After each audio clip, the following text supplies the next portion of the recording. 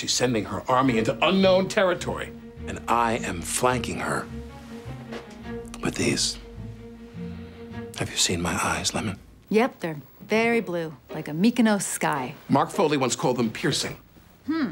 Avery has really made a misstep here. Do you know what a prize I am in the gay community? There's a term for it. I'm a bear, and I'm a daddy. I'm a daddy bear. Just one hour of flirty chatting with James, and you know what I'll get? Not a GLAAD award, I know that.